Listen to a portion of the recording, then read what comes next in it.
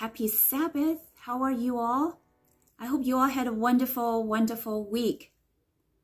Tonight, I pray that the Lord will continue to bless you with his presence, to love you, to protect you, and to guide you. And we're going to continue to study this book called Christ's Object Lesson.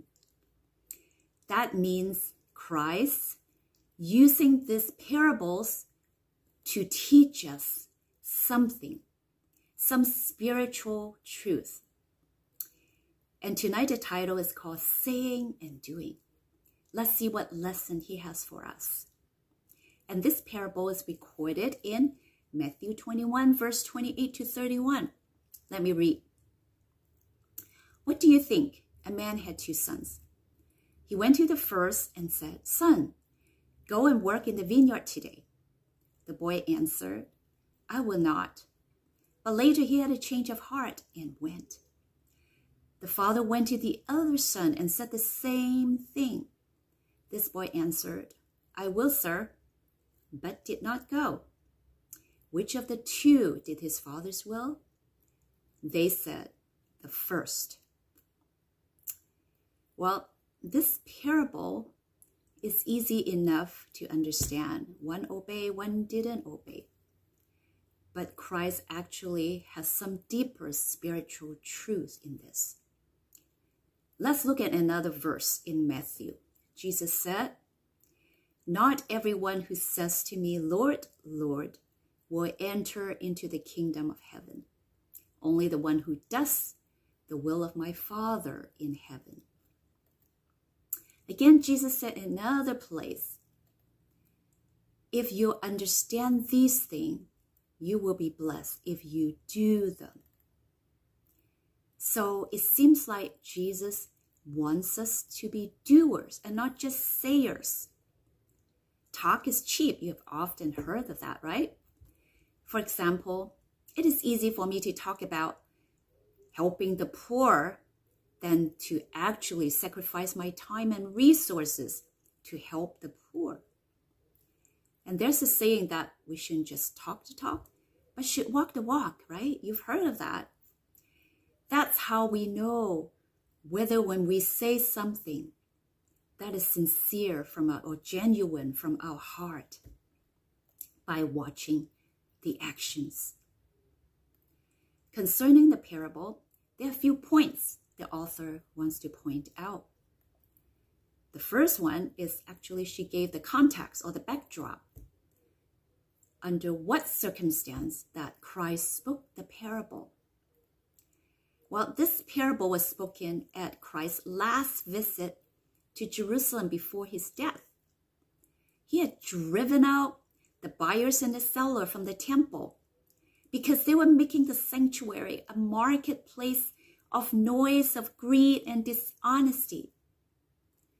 When Christ was driving them out, all those who were in the courtyard witnessed the divine power manifested on his countenance, on his face, and they were amazed and also they were terrified.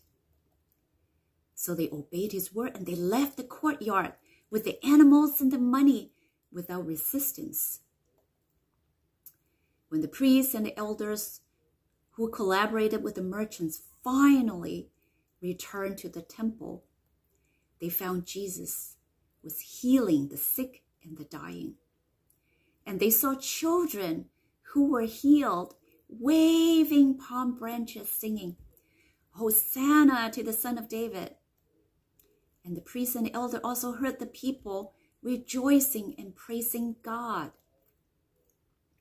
you would think that these Jewish priests and elders were impressed, right? And they prob they should be touched by the scene. But no, something was boiling inside their heart. Jealousy that Jesus was so popular and prejudice. Who is this Jesus? He is nobody. He came from a humble beginning. But they didn't say anything. They waited until the next day before they complained. And that was while Jesus was teaching in the temple. they showed up and said, By what authority are you doing these things? And who gave you this authority?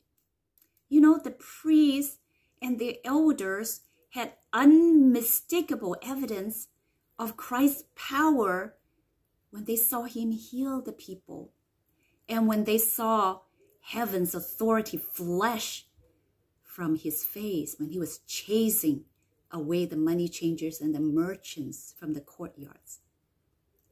But they still asked, by what authority? We know then that it was not evidence that they wanted. They asked the question because they were trying to trap Jesus in proclaiming himself as the Messiah. If Jesus were to proclaim himself to be the Messiah, they would accuse him of blasphemy. And then they would stir up the people against him.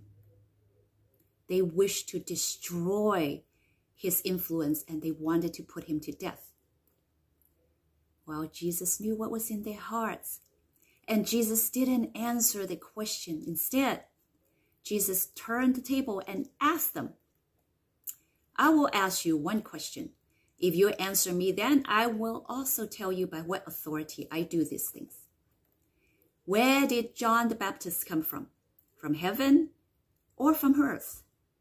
This is in Matthew 21, 24, 25.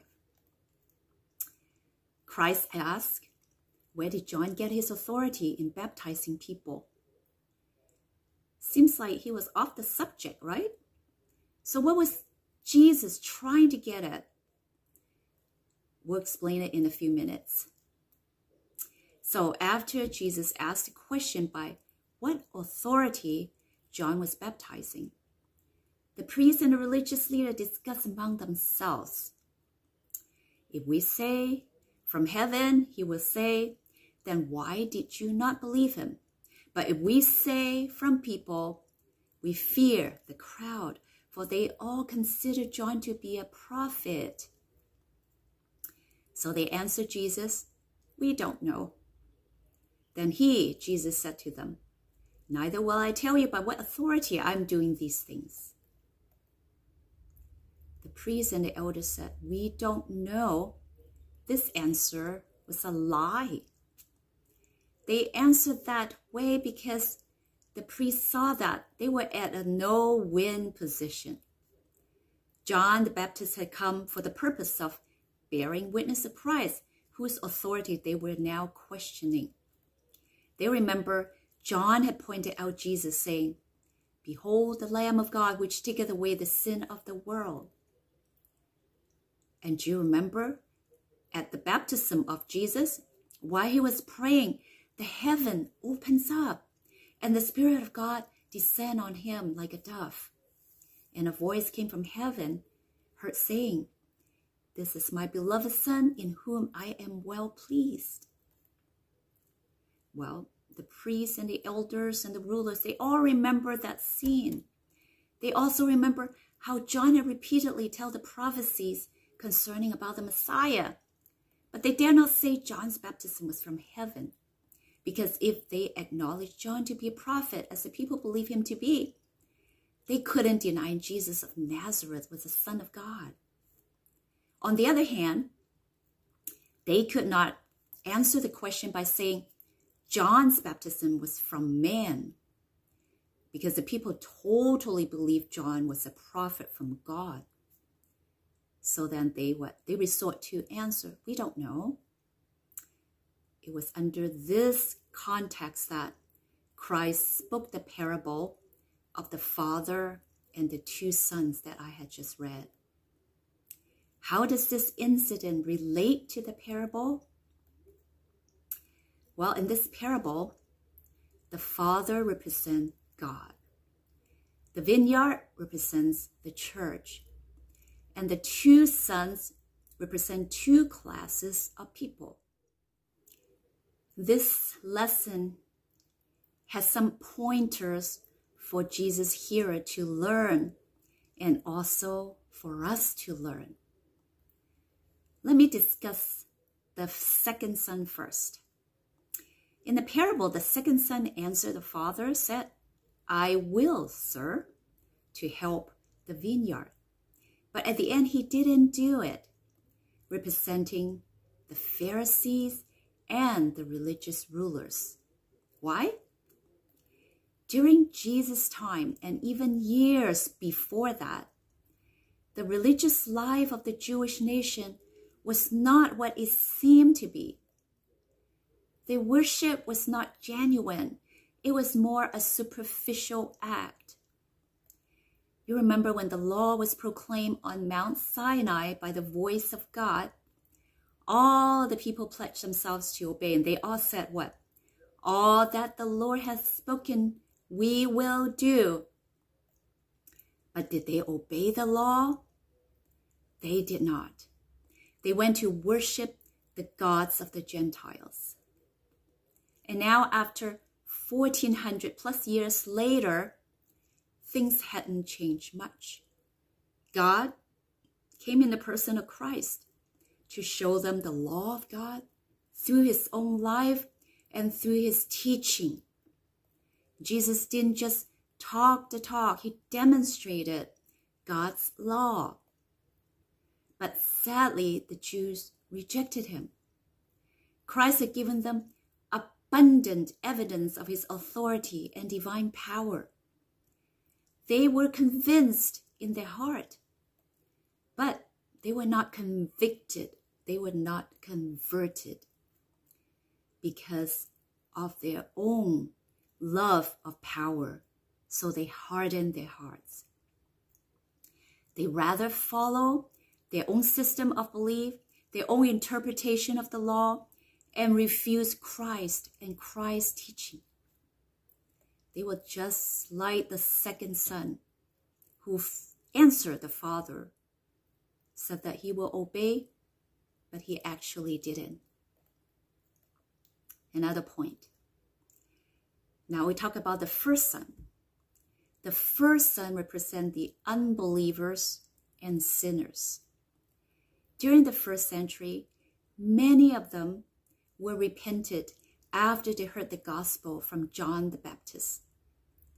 While John had proclaimed to everyone, Repent, for the kingdom of heaven is near. So this group represented by the first son, they didn't obey God at first, but after they heard the message, they repented afterward. So they obeyed God the Father and they did the work. So, after giving the parable of the two sons, Christ asked them a question. Which of the two sons did his father's will? They said, the first. Well, they didn't realize that by choosing the first son, they were incriminating themselves because the first son represented the unbelievers, the sinners that I just mentioned, whom the religious leader loathed and looked down upon. So Christ was telling them that what?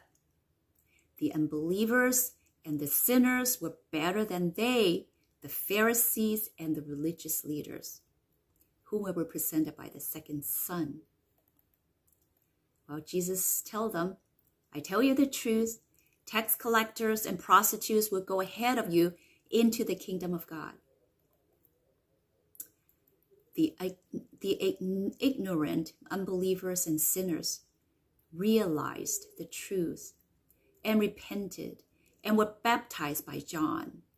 Therefore, Christ said they would go ahead of the religious leader into the kingdom of God. The Jewish leaders had the truth first from the prophets of the scriptures. They also had John the Baptist, and now they also have the Son of God.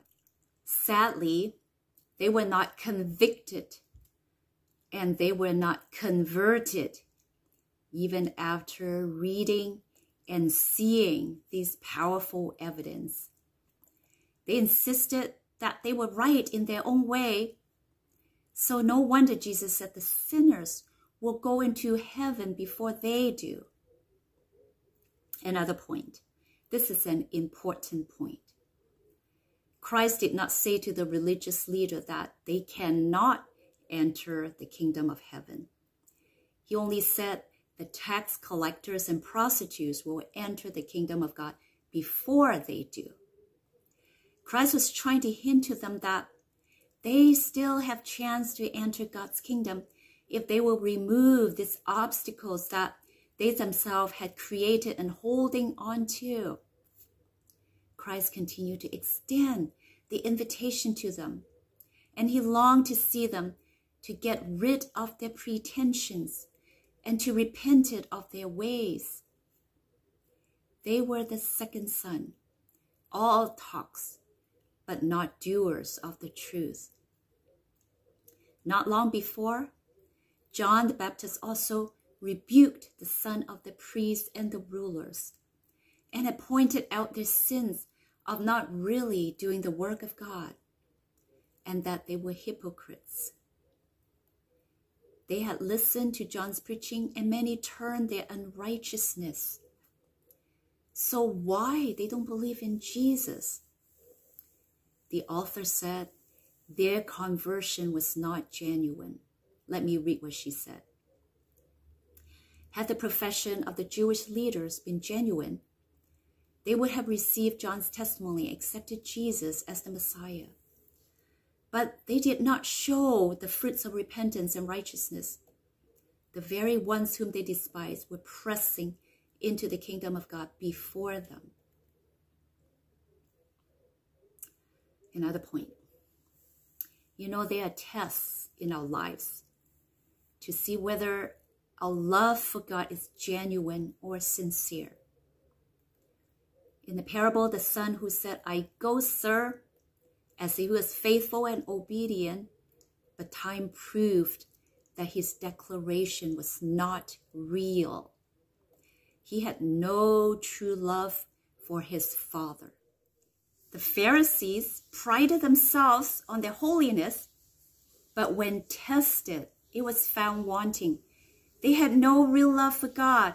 They only obeyed when it was of their interest and when it was not, they reasoned away their obligation. Christ told his disciple and the multitude, but do not do what they do, referring to the Jewish religious leader, for they do not practice what they teach. Next point. Self-righteousness is not true righteousness. The Jewish religious leader trusted that they were good enough because they performed all that was required of them according to the tradition. They thought they were better than everyone the sinner, the poor, and the Gentile. But Christ said they were not. In fact, they were disobedient to God's commands. How so?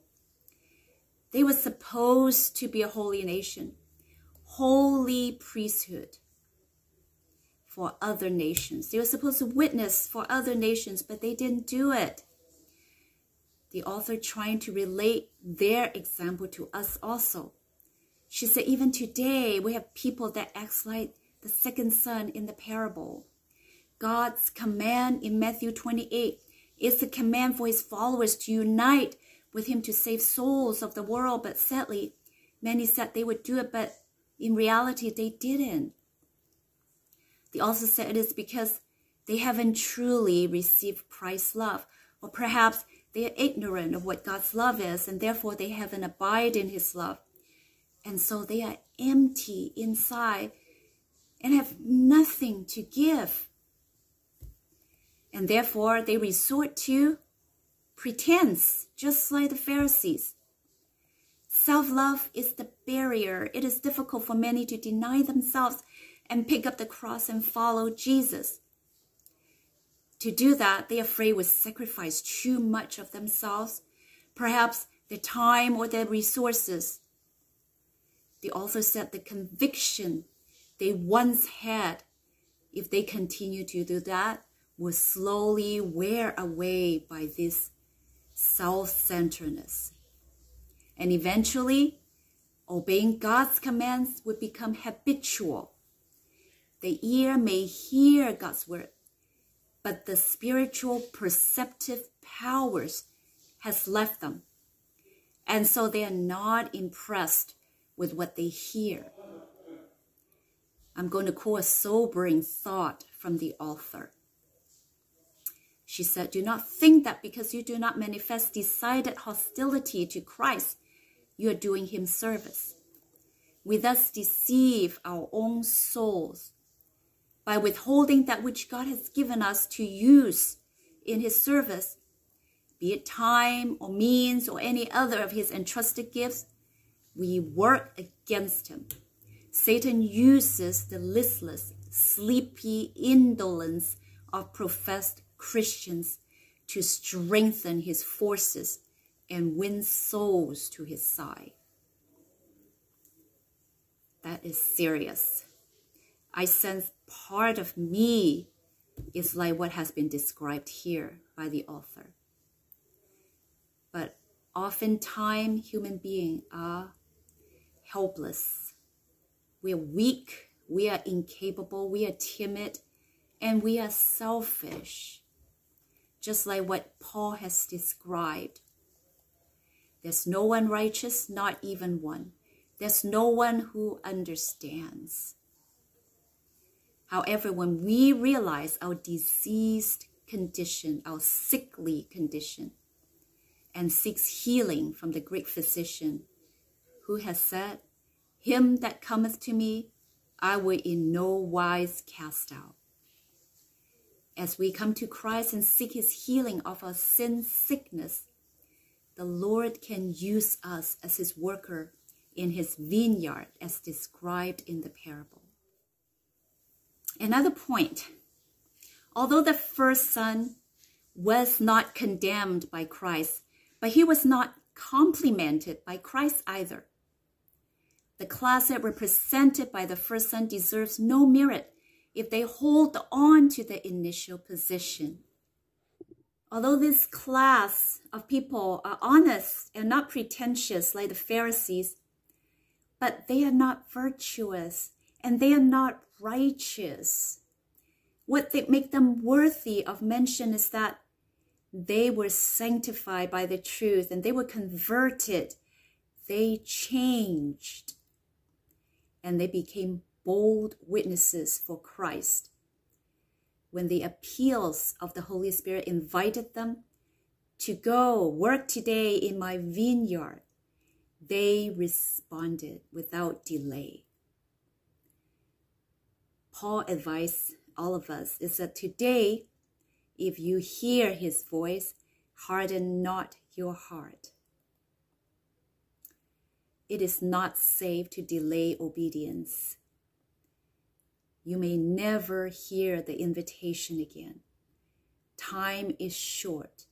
Let us don't delay our response to the invitation of the Holy Spirit. If we stay in idleness, conviction may wear away, and eventually our mind will be molded by the world in such a way that it will be difficult for us to distinguish between right and wrong. And this is what the author said. Another point the command, go work today in my vineyard, is the test of sincerity of our faith. Will we be doers and not just sayers? Will we be able to accept the call that will put all our God given knowledge into work? Will we work faithfully, undistracted for the owner of the vineyard? The Apostle Peter instructed us how to equip ourselves to work for God and avoid being corrupted by the world.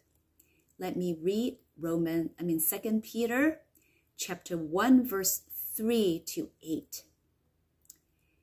His divine power has given us everything we need for a godly life through our knowledge of Him who called us by His own glory and goodness.